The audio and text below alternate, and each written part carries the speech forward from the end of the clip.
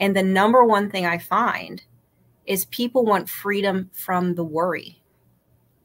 They don't want they want freedom to experience, but they're in that lack like i just don't want to think about this anymore. I don't want to have to think every day. I don't want it to consume my thoughts about how much debt i have. I don't want it to consume my thoughts about how unhealthy i am or how overweight i am or i don't want it to consume my thoughts about how much my spouse doesn't like me or doesn't treat me well. Like we want freedom from the consumption of information about our what we lack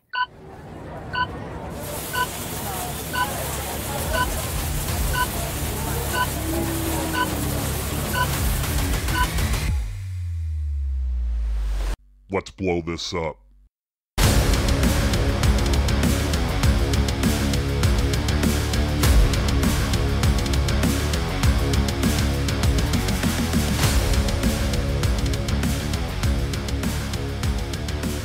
Alive, Bomb Squad. We are back for season one, episode four of Let's Blow This Up. I am your host, Jason Cercone whether you're listening on your favorite app, whether you're watching on YouTube, whether you found another way to consume this podcast, I want to welcome you to the show. And I am damn glad to have you part of this experience and this ride with me. Today, we are talking about something that transcends our theme for the season, which is the qualities of building an impactful brand. Now, of course, what we talk about today is absolutely knowledge and insight that's going to apply to your professional world but Dr. Tanya Kindel has some strategies on how we can stop focusing on the problems that we face in our lives and instead put emphasis on the solutions. Now, like I said, this transcends everything in business, but it's also such a core part of what we do in our businesses. If you're developing a brand, you know how hard it is sometimes to look towards the solutions and instead put your emphasis on all of the problems that you're facing. Tanya is going to help you flip that script today because she's got a remarkable approach to how you shift your mindset and start thinking about the right things. Believe me, this is information that is going to impact you on multiple levels, and I am not going to keep it from you any longer. Let's get to it. Dr. Tanya Kindel is on season one, episode four of Let's Blow This Up. Let's go. All right, Tanya Kindel, welcome to Let's Blow This Up. It's a pleasure to have you here on the show today. Thank you. I'm excited to be here in the world Me, of podcasting. absolutely. So this is one of your first forays into podcasting, yes, right? Yes. I'm Very glad, exciting. glad we're here to help you bridge that gap. This is honestly a conversation I've been looking forward to since you and I connected. And I know I've said this to you a couple times. We should have recorded that conversation because we brought so much insight to the table and automatically realized this is going to make for a damn good podcast yeah. episode. Yeah, so, love love the conversation. So I'm excited to be here. So we've officially pressed record, and we're going to make it happen today, so the Bomb Squad can get the most from what you and I have to say. Mainly you. I want you to take center stage and really let people understand why we need to shift our mindsets and start looking at the solutions instead of the problems.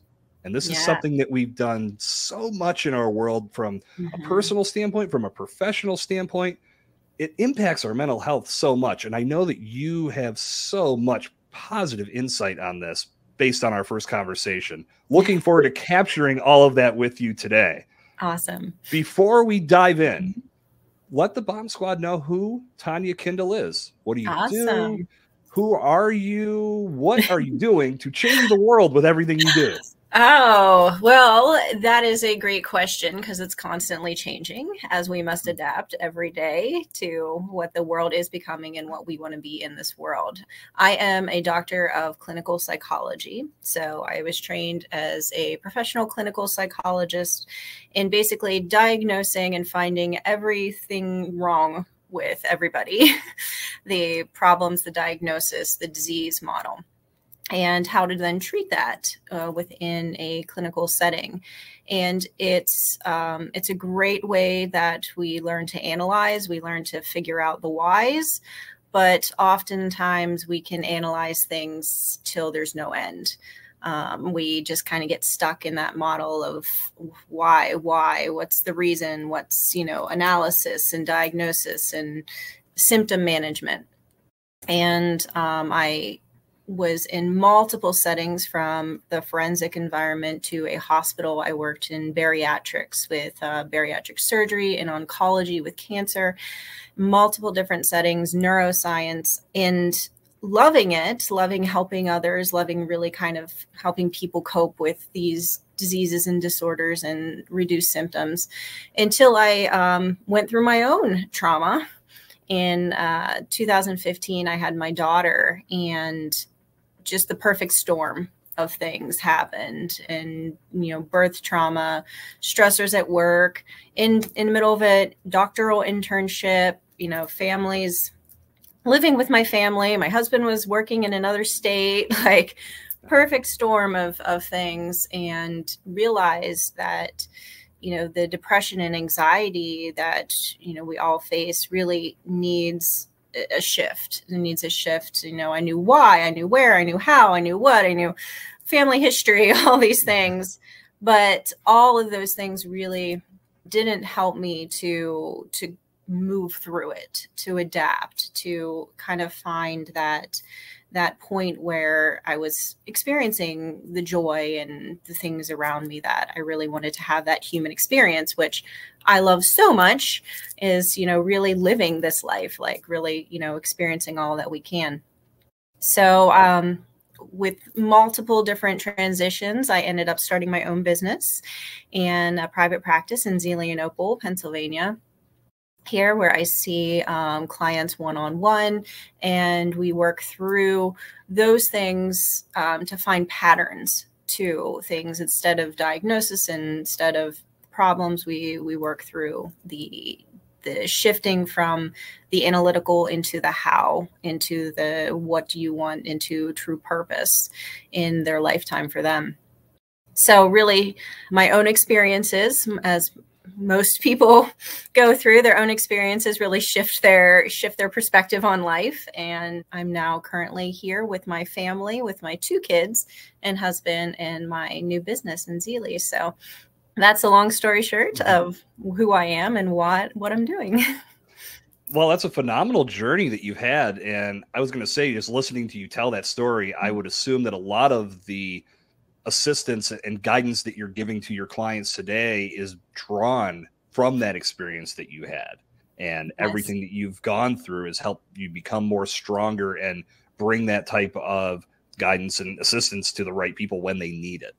Definitely. I mean especially working in multiple multiple systems from um, center city dc i worked in forensics helping you know, a youth um, try and work through getting charged with drugs and homicides and vandalism, like really kind of seeing where we need a lot more empathy and compassion for our human existence. So going from that survival mode to that thrive mode is is the big key because so many people are stuck in that survival. I just got to get through. I just got to get through it. So in forensics or in when you're working with people who are in prisons or when you're working with people who are at the the brink of disease where it's sort of taking over you know finding that compassion and saying oh there's the same patterns are going on here the same patterns. Right. So we're not all separate. This is all interlinked. You know we're either in survive or we're in thrive. We just got to get through that bridge tell me about making that transition from survival to thriving because at least the way I see it, and you can tell me if I'm wrong, I feel like when you're in that mode and you're just day to day trying to find new ways to survive and get to that next day, breaking that pattern is almost impossible. It, it, it does require this amazing internal paradigm shift to get mm-hmm. to a mm-hmm. point to where you're not thinking about survival but you're now thinking about the, the, the positives that can lead to a more thriving lifestyle. But when you're down for so long, it can be yeah. so hard to snap oh, out of yeah. that. Tell me yes. how that works. Oh, you're exactly right. It is very difficult to snap out of it because most of the time survival is in your subconscious. It's not it's not something that you're you're attending to waking up every day and saying, Oh, I have to get out of survival mode. This is basically how am I feeling when I wake up? Like, what's my perception of the world? You know, what's my body feel like you know all these things are subconscious information that the body is picking up on so if that's who's running the show right now if you're in survival mode it's not your conscious you can't talk yourself out of it you know you can look around and say i know that i'm safe i know i can be grateful for things but there's a part of you that's still like oh, why can't I just feel good? Like, why can't, like, what is this stuck? Why do I try so hard and then kind of end up back in the same place? Because your subconscious patterns, like your body, your chemicals, everything is still kind of in that survival mode based off of past patterns, based off of, you know, could be multiple things. It could be past traumas. It could be, you know, experiences or messages you picked up in childhood. It could be things passed down from generations. We know that now not just your eye color and how you look and disease models are genetics, but also fear responses, how we kind of see the world and, and also things that happen prenatal in those last three months of, of being in the womb you know whatever's going on in your environment you're coding. You're coding in your womb. So like in internally so like these things we might not even be aware of. We might not be aware of it. Our brain will like to put stories around it. Well mm-hmm. that's the analytical part. Our brain will put a story around everything.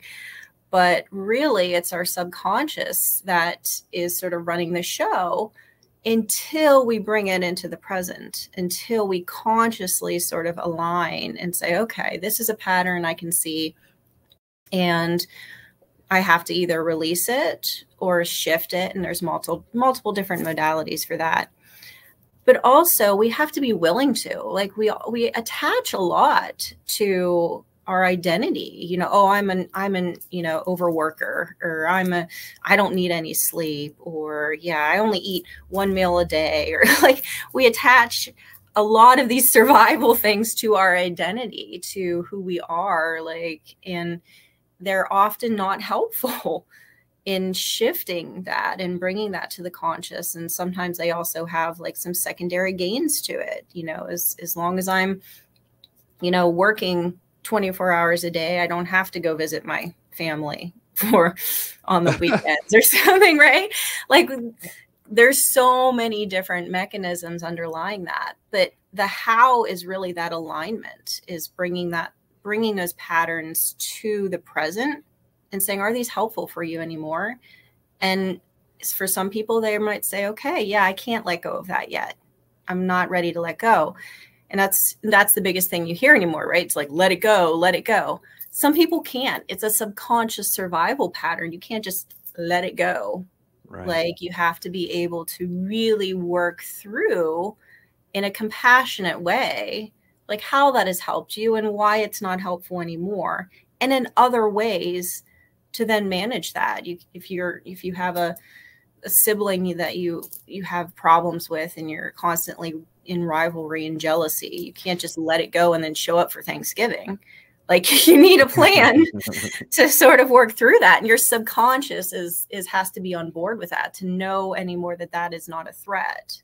That there are ways to kind of work through that. So it's all about alignment in bringing that those the the subconscious to the present. Do you think a lot of the mindset of not being able to get to that level comes from the fact that we just we get so stuck in our ways that even if we know consciously we need to make that shift mm-hmm. towards that more positive outlook and start focusing on the right things there's still that part of us inside it's like the you know you get the two people on your shoulder like i'm thinking of yes. cartoons and yes. you get the little guy over here oh yeah do this mm-hmm. and then those here no way man you're not doing that like that internal struggle, mm-hmm. to me, it feels like it's never going to allow you to break through on your own. You're going to need somebody mm-hmm. to push you in the right direction and shut the guy on the right shoulder up so you don't put emphasis on what he's telling you and listen to the other dude. And for me, I know we all have those types mm-hmm. of battles inside. And for me, when things started to shift, and I'm not saying I'm 100% perfect in this realm, but the big three words I try to focus on at all times, no matter what, accentuate the positives. Mm-hmm. Now, is that always easy? Hell no. There are always going to be times where it doesn't seem like there is a positive. But if you're willing to do the exercises to look deep mm-hmm. and actually find something and and not be jaded, you'll find something.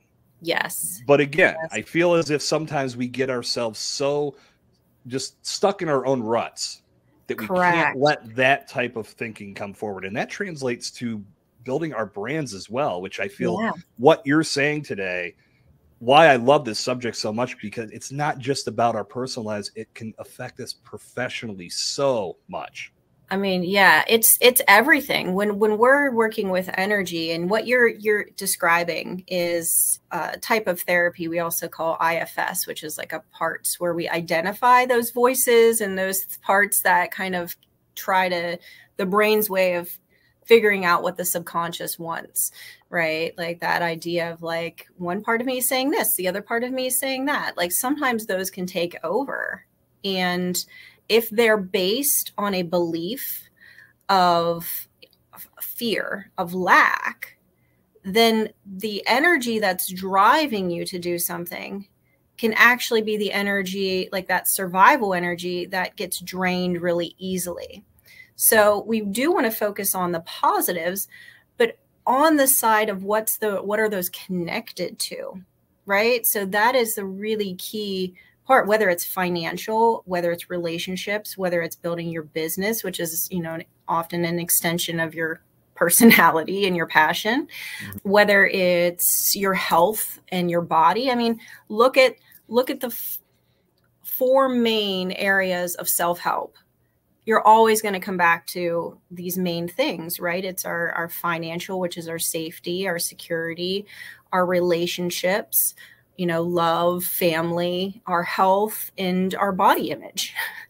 like our, our, our idea of those things. Like we kind of get drawn and usually stuck and some of us are really great like your business is flying by you're doing great but then your relationships are struggling or or maybe you have amazing supportive relationships and your health is failing like oftentimes we're moving in pushing in one direction and getting pulled in another so when it comes to understanding that they are two sides of the same coin.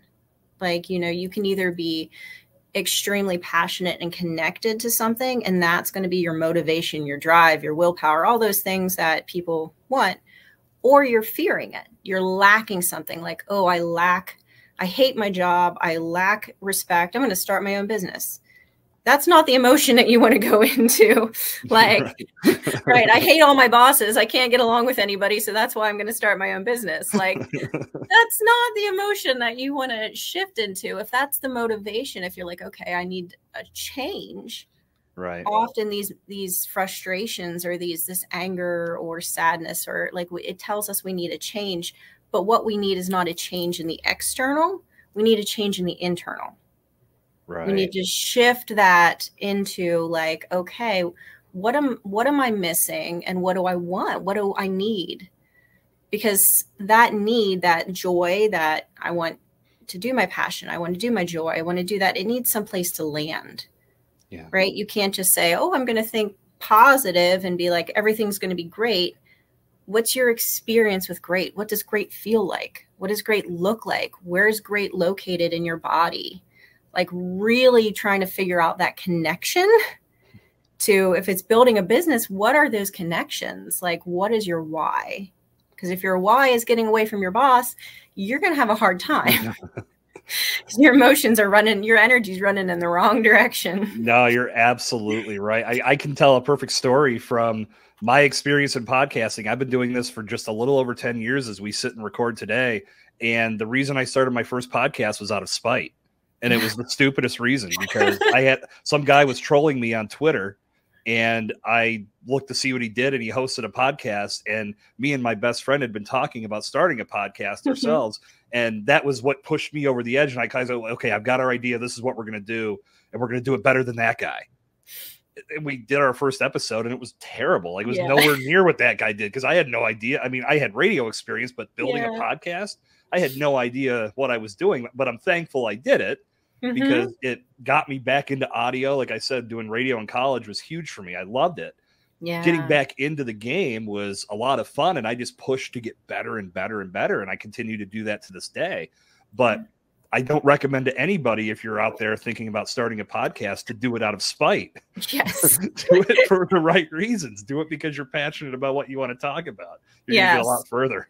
right and that's a really huge key is like you before you start anything whether it is a business or you know a social media platform or a diet plan or an exercise like whatever it is we have to figure out what energy is fueling it Mhm. because if it's it's fueled on lack if it's fuel and that's that's survival energy that's sort of our energy that we carry that says i'm missing something so i have to chase it Yeah. and that's when we talk about fight or flight in in mental health like if you're going into this out of anger or you're going into this out of spite or frustration or fear even if it's stopping you from starting your own business out of fear like you keep thinking about it but you're like oh like i don't know what i'm doing i'm afraid that's the energy that's going to show it's that's the energy that's going to be seen by others too because our subconscious picks up on that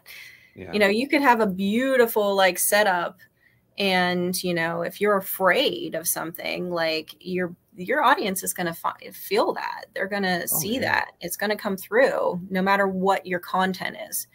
That's why it kind of goes back to that hamster wheel of things. If we get stuck on i need more education. I need to know why. I need more analysis. I need more you know support. I need more like you get stuck in that lack wheel. Yeah. like there's something wrong with me. I'm a failure. I'm not good enough. No matter what the external reflection is whether it's health business finance anything relationships it's going to continue to be seen that way. So we have to shift into that other side which is more of the okay why is this important to you? What do you want to feel? What are the emotions that you're looking to have? Mhm. because you can have a business or you can have a baby. Like you have to be able like Yeah. one you know in terms of like babies you can't you you have to be there 24 hours a day. You have to be like emotionally involved. Like with a business you can build it upon emotion build it upon but you do have to have that reflection of like if your business fails it doesn't mean you are a failure. It means that you might have messed up some things and you have to kind of be curious Yeah. and go back and go through it. But if you have that, if my business fails, I am a failure. If And- I don't get enough of this, then people don't like me or I'm not respected. right. That's going to really harm yourself, your mental health, and your business. Creating engaging, explosive content that positions your brand as an authority and go to resource in your industry doesn't need to be complicated, stressful, or time consuming. All you need is a strategy that sets you up for success and a partner to keep you on the right track. This is my mission at Bombtrack Media. I'll show you the most efficient way to produce brand elevating content that can be utilized throughout your digital footprint, all done with your goals and busy schedule in mind. You're not a full time podcaster. Why commit to a full time podcaster's schedule? It's time for you to blow this up and rethink how you grow your brand. Visit bombtrackmedia.com today to learn more. 100%. And you mentioned the hamster wheel, and I feel like at this point, I need to give a shout out to my main man, Wiley McGraw. He is he's a guy I met on one of my past podcasts, Evolution of Brand. You'll hear his voice on this show, but I highly recommend you look him up because the work he does in this space is phenomenal. And he was the one that broke it open for me regarding coaching today. Yeah. So much coaching and so much information that you find to try to make those steps forward.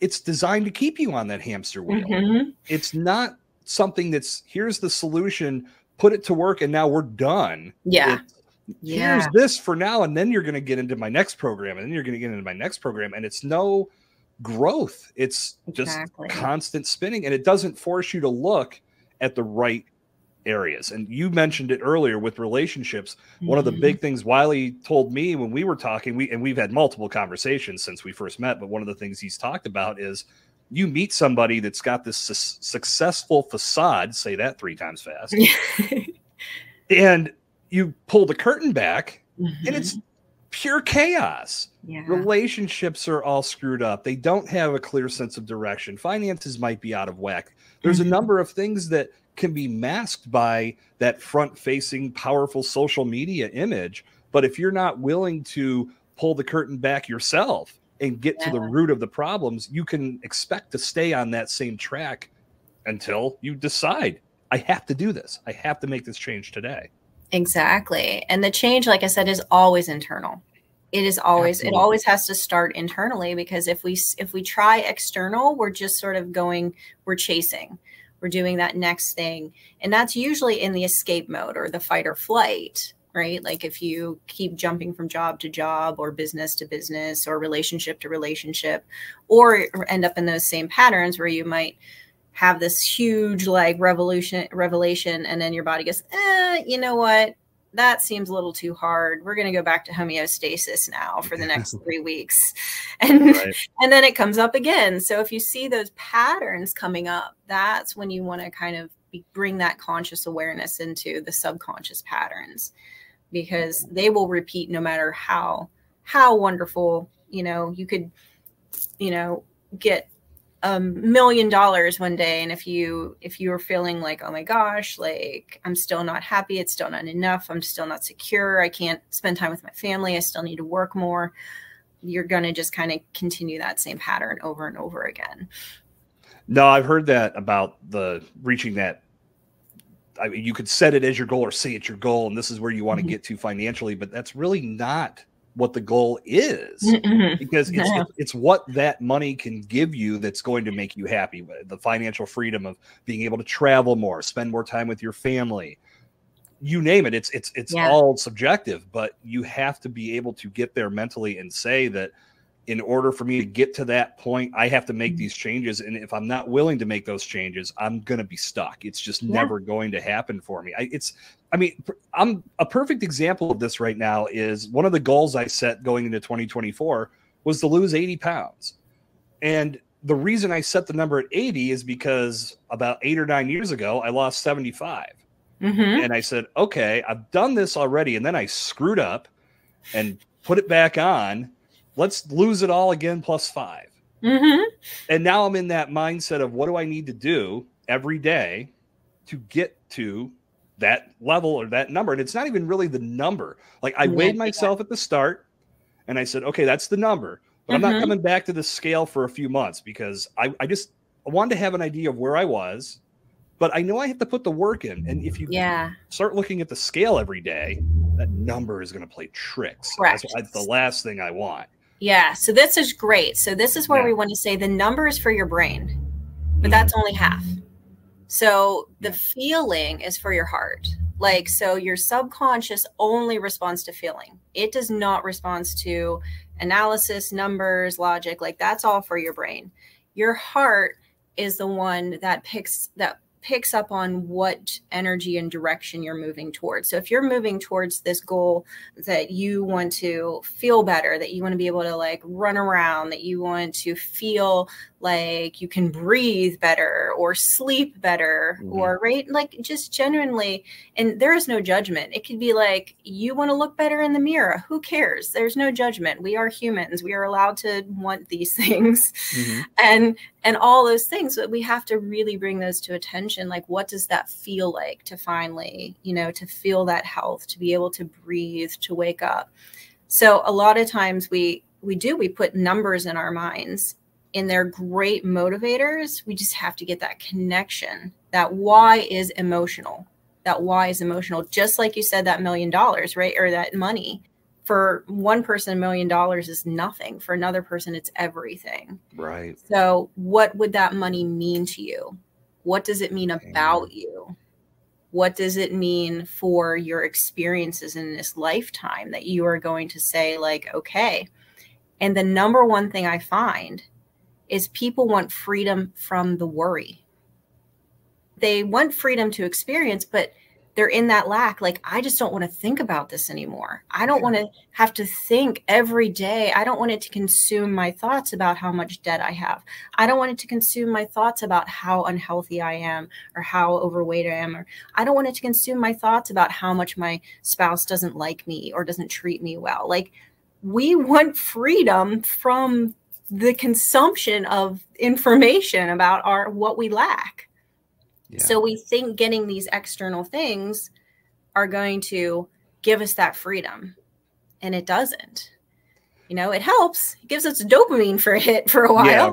It's a great dopamine hit. It's like a runner's high mm-hmm. in that way that you get to that point where you're like, okay, I get a little bit of relax and then it'll settle in. But if we can shift that in us, like that, we have these beliefs set about ourselves that we're more than just these things on the outside, but it will shift everything for us. Like the connection will then start to shift your energy and you want to move more. You don't have to push yourself to move more. And sometimes, you know, that push is what we need when we're in that good energy. I'm sure you know when you're exercising sometimes and you're you're feeling it and you're like, okay, my body wants a little bit more push today. It feels mm-hmm. good. It feels good to kind of give our body. But if you're ha- if you're if you're have the flu and you're like, oh my gosh, if I don't exercise today, I'm going to be off track. And then you push yourself, it's worse. Mm-hmm. You don't give your body that recovery time. So we really have to have that energy moving in the right direction when it comes to what we're what we're going for our goals and combine both our conscious mind like setting those goals and our subconscious being on board with it. Not saying mm-hmm. oh yeah remember the last time you lost weight? You gained it all back. And then you were really sad. And then we went through that period and like we don't want to do that again so we're not even going to try hard this time. Yeah. that's what our subconscious does. It just says mm, we're going to make this decision for you. If you're not if you're not here you're somewhere else. I think the biggest most powerful advice that I've ever received, and it comes from it, it's all about building your brand, building your body, building your mind, your soul, mm-hmm. whatever you are looking to improve. Don't try to eat the elephant in one bite. Yes. If you take small bites, it's going to be much easier to consume. If you're looking to lose weight, if I looked at 80 pounds and said, that's, oh my God, that number is astronomical. How am I ever going to get there? No, I look at like, mm-hmm. how can I just get there and do put in one hour today and lose one pound over a week, maybe mm-hmm. two pounds over a week? I, you got to do the smaller numbers first. And then as those compound and you continue to build those good habits, then you're going to get to the place you want to get to. And that's all internal mindset. That's all about how you come into these tasks and objectives that you want to achieve business wise, personal wise, mental health wise. Yes. You got to be thinking on that level or else you're just going to stay stuck. Yes. And a lot of times what we get is our self judgment, right? Like we have this, we have these passions we have, and then we might get stuck one day or find a day when we're just struggling a little more. And then that, that part, that judgment part comes up right? Mm-hmm. And that is what, when we talk about self love, and I hate that term, I don't know, like it just seems so fruity, spectacular, almost like a unicorn. like, like love me some me, right? yeah, it's you know, it's all over social media and that way. Just love yourself. It doesn't work like that. Mm-hmm. like it doesn't work like that. There's you, that has to have some place to land. You have to have some experience with it. So when I when I first start to work with people on what that looks like, it's like having curiosity instead of judgment. Like if you right. if you mess up one day and you're like, oh man, like I just it's end, it's the over, like I'm worthless, I'm you know I can't do anything right. You're basically sending yourself back into survival mode in that instant, and then you probably got a nice three or four weeks of feeling horrible before you kind of start to come out of it again. So like having that just shift out of judgment like oh wait i'm judging myself again and that's not gonna because your chemicals will shift. Like if you start judging yourself and like your body is gonna your chemicals your adrenaline your cortisol like all that's gonna shift. And then you're in a stress response. Yeah. you're in a stress response and your body's got to deal with that instead of what else you might want to do that day if you want to take a walk or something. It's got to like oh, now we got to get rid we got to filter all these chemicals all over again. Mm-hmm. and you kind of get stuck in that pattern of like blame and self-judgment and and on yourself which can basically make you feel like feel horrible because your chemicals are off too. Yeah. So it is a physical and you know mental and emotional balance like constantly moving. And i feel the one thing that you know can help with that is connection. Like it's hard to do this alone. Right. Just like you said at the beginning like we need like that support and connection from others to know like you know it's okay. Everybody feels like this sometimes. You need that support. And doing it alone going through somebody else's program where you're kind of separated from them and you're just sort of trying to do this all on yourself your your subconscious parts are gonna like win out. They're gonna they're gonna talk you into ah you don't have to get on that you know that webinar today because they're no but they're not really paying attention to you. There's a thousand people on there. You know you know your camera's not even on. Just lay in bed. Mm-hmm. right? We go through it. So really kind of bringing back that connection that we lost so much during covid into getting our getting ourselves into working one one on one with others or you know coming out there and into your community or into groups and things where you can really kind of start to feel supported in this because it is is it's all humans go through it. There is no such thing as you know when it comes to separation of silos of mental illness. We all go through stages of things and all need the support well, you've, set the table perfectly, so I'm going to let you take it from here. If someone listening to this podcast right now is looking for that partnership and looking to have somebody bring this positive force into their life, and they know you are the resource, and I am vouching for you right now and saying yes, you need to contact Tanya. Tell them what it's like to work with you. How are you going to help them make that paradigm shift and ultimately get things on course so they can start focusing on all of those solutions instead of all the problems. Awesome. So the first step is just a, a, consultation. My number is directly to me. That's that's the one thing I do have set up is that you will be talking directly to me. So it is not an AI system or software. Not that I'm against those. I'm just this is this is the first step is is that connection. Is that connection to know like um, if you go on my website or my social media or Google Maps, whatever you want to do, you know that that number on there is directly to me. Um, and the email is directly to me. So that is the open step of first just reaching out and making that connection. And then we have a conversation. We just have a simple conversation to say, like, are we, you know, are you in the place that you're ready to kind of learn these things and shift these things? And and most people who are looking for this type of work have been through therapy or have had their um, have had periods of saying okay there has to be something more but i just i know i'm stuck i just don't know why i'm stuck or how i'm stuck or how to get out of it so they are on that bridge between like they're conscious of it and but their subconscious is still running the show so there's a place for them to kind of say, all right, this this makes sense. So what I'm explaining makes sense. Um, and then we, you know, we go over what you're looking for, what I can offer, and then it's just a simple in-person meeting. Um, there's no lengthy questionnaires or anything like that. There's no personality testing or anything. I will pick up on all of that information as we work together and then from there if they want to continue to work together there's packages and things that are available but the sessions with me really are bringing the patterns out. So the first session, we talk a lot about what we can find in patterns. When we look at patterns, and that's our conscious cognitive part, we don't have to go through every single event. Like we don't have, you don't have to know like what happened in utero which you probably don't. So that's okay.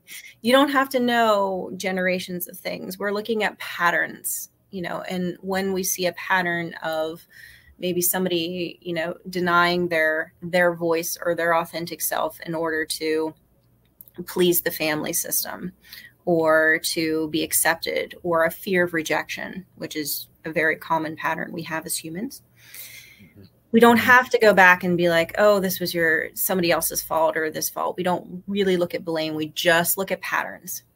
And we bring those patterns to the present.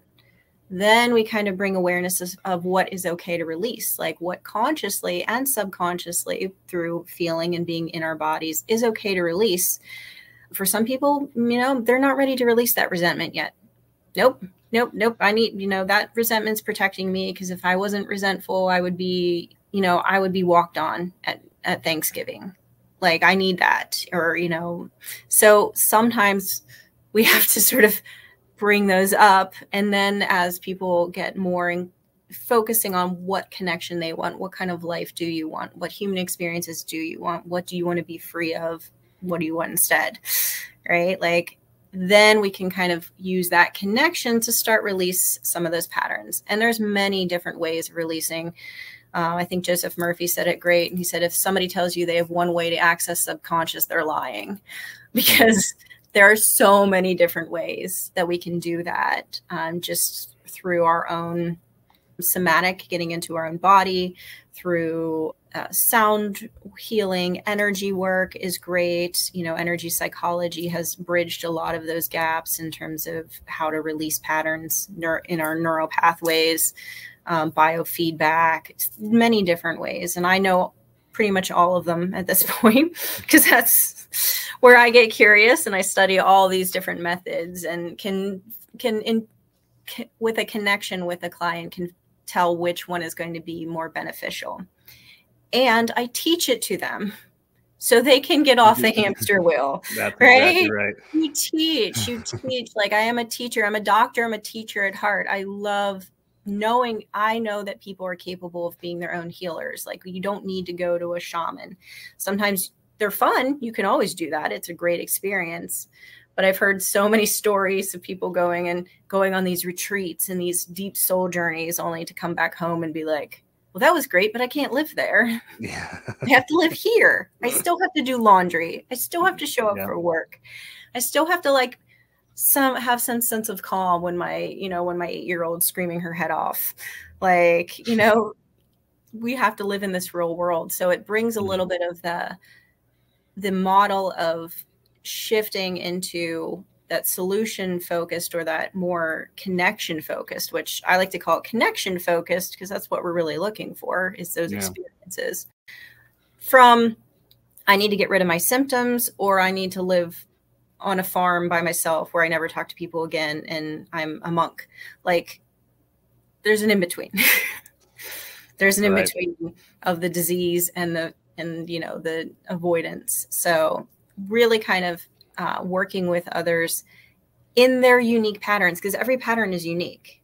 Mm-hmm. Every pattern is unique. So a coaching program that worked really well for one person may not work for that person because just like everything else we said, right? Yeah yeah. right? Like and that's why there's like a thousand self-help books out there. Why haven't we mm-hmm. you know been helped? Right? So we're it's it's all unique. Everybody's mm-hmm. on their own journey. So really kind of having that individual attention to people and saying okay your journey is different than their journey so we can't compare. But this is where your patterns are at and allowing them to have the power right? The yeah. conscious subconscious alignment, the power is saying it's yours. I, I'm not judging you. If you want to hold on to that resentment, it's fine. Like that's, you know, I'm not going to say, oh, I can't work with you or oh, you you have these kind of thoughts or this kind of diagnosis. If you want to hold on to those things, that's up to you. Hmm. But you have you have all that empowerment to kind of release them if you want and when you're ready. So giving them the power and the teaching skills to go out and say, okay, now I know how to work through this, not I got to go back to my therapist every time my mom calls. That's not going to help anybody in the long run. Right. Well, there's no, no question this is a monumental mind shift. It, it really mm-hmm. takes a lot of self awareness to know, okay, here's where I'm at. And if I want to mm-hmm. get to here, I'm going to need to take these steps. One thing that mm-hmm. I've done in this space to make myself a little bit more aware of what's in front of me is just giving myself that that conversation or, or that tough conversation of saying, listen, you have the ability to go to the gym, mm-hmm. to build your brand, to do these things that are positive, and you're blowing it. If you're mm-hmm. not, and I'm not saying you can't take a day off, but mm-hmm. if you get into that rut of not being able to get somewhere, you have to think about the people that don't have the ability to make that happen. And if mm-hmm. it if it's something you need assistance with, Tanya has just laid out exactly why she is the resource to turn to. And I think all of us could use that mind shift in some way, shape, or form. It might be yeah. subtle, but it may be profound. But mm-hmm. no matter where we are in our timeline, there's always going to be a point where we look at the, the problem instead of the solution, mm-hmm. and we mm-hmm. have to flip that script. Tanya, I want to thank you for giving us an, a small peek into how we can get started with that. So, if what you've laid out for everybody is jiving and members of the bomb squad want to connect with you to make this happen, what is the best way for them to do so? Go onto my website, um. Everything is on there. There's more information, sort of goes over my story. You can message me directly. And like I said, that number on there is my direct cell. So reach out and it's just a conversation and i think that's what what started us it's just a conversation you know we're just going right. to get started with a conversation and we can grow so much from that so i'm just starting with a conversation and going from there there's no there's no pressure or anything it's just that easy to start and just see if there's a there's a connection and we go from there excellent to me that's what podcasting is all about yeah. good conversations and i think we've just checked that box today awesome Tanya, I want to. It was fun. I want to. I want to thank you for joining me here on Let's Blow This Up. All right. Thank you so much, and thank you to everyone that's listening.